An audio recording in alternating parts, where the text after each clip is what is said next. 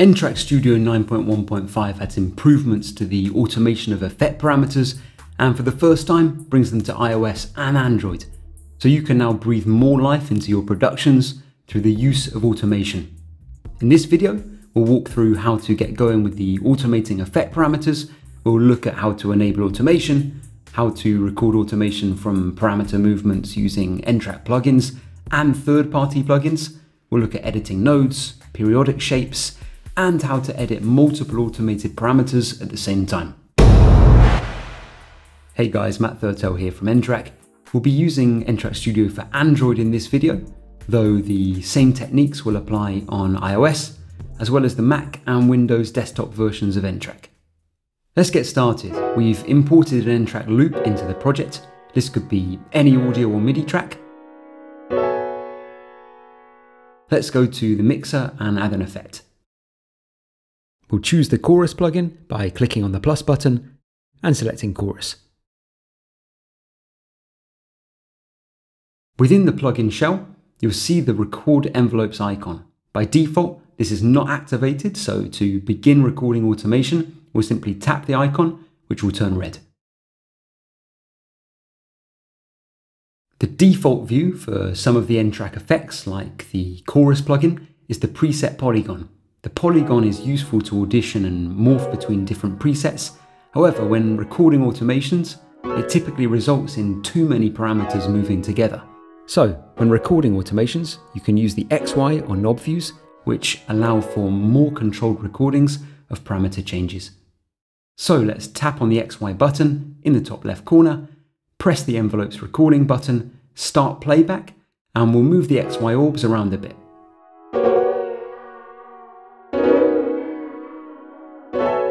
Once finished, we'll rewind and start playback again, and we'll start to see the orbs on the XYs replay the movements that we recorded before.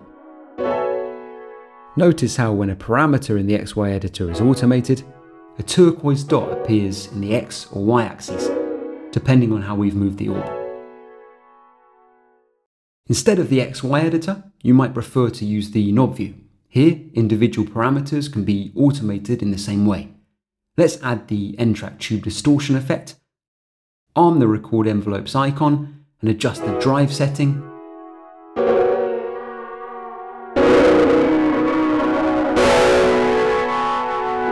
Then the tone knob.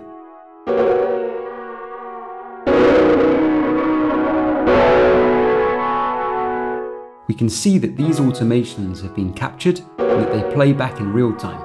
And again, Notice the turquoise dot that signals that a parameter is automated.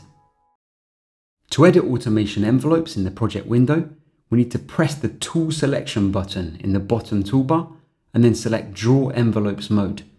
You'll notice a new envelope selection button visible on the track to the right of the mute and solo buttons. If we click on the draw envelopes button, we can see standard volume and pan automation options from the menu. When you want to add a new envelope for a plugin parameter, open the plugin. Let's choose Convolverb Reverb, then move the parameter that you want to automate a bit. We'll adjust the wet value. You'll then see that parameter available in the Draw Envelopes menu, which lists the parameters that have recently been moved. In our example, we can see N-Track Convolverb Wet Mix. If we click on that, we can see and adjust the envelope. You can also view an envelope for a plugin parameter in another way. Open the plugin then long press on a parameter and select Show Automation from the pop-up menu. You'll then see that parameter available in the Draw Envelopes menu. In our example, we can see chorus delay. If we click on this parameter, we can see a flat envelope, which we can now start to edit to create interesting sound movements.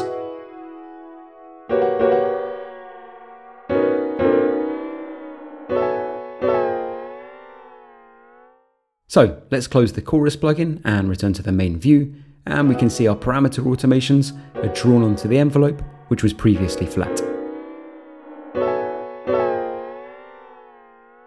We can also click to add a node and manually draw movements onto the envelope as well.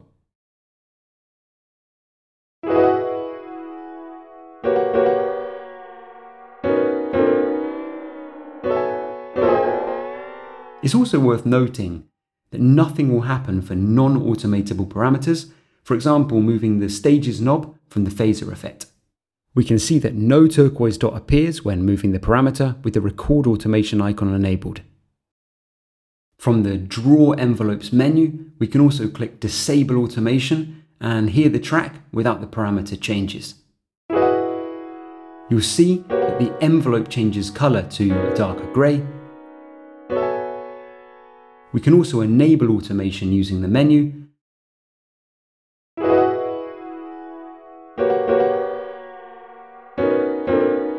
and also by clicking on the turquoise dots next to automated parameters in the knob view.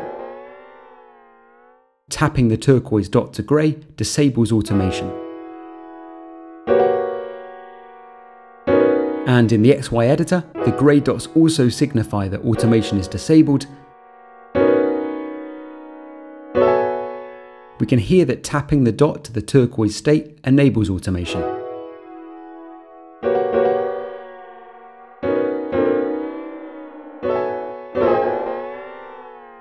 If you open an effect that already has automation recorded, you'll see the parameters moving. If you tap and move a parameter that is already automated, you'll take it over. The existing automation for the parameter will be disabled.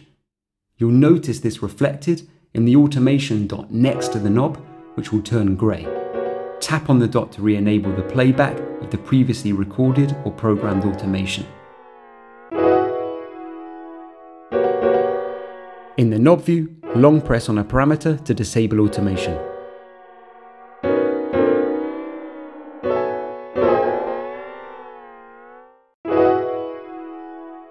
Tap the dot to re-enable recorded automation. If you're not happy with a recording of an automation and want to reset the envelope, you can simply delete the automation from the Draw Envelopes icon menu and you can always tap on the undo icon to get the envelope back. To add a node, click once on an envelope, and when moving nodes on an envelope to automate a track, you can also use the N-Track grid to decide whether you'd like nodes to automatically snap to a certain subdivision like beat or bar. To do this, ensure Enable Snap to Grid is selected from the grid menu. With Snap to Grid disabled, the nodes will not snap to the selected subdivision and can be moved freely. By long pressing a node, a menu appears.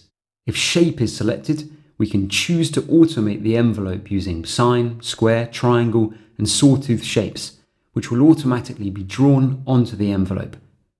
Be sure to try these as they can help create creative patterns in your music. Using shapes, we can again enable Snap to Grid to move nodes precisely. Let's see an example of this by automating the pitch shift plugin. We'll add the plugin, long press on pitch, and select show automation. Then we'll go to the track in the main project window. We'll view the pitch parameter and change the shape of the node positioned at zero to sine. You can then drag the shape adjuster node to change the frequency of the periodic shape. Here's how it all sounds.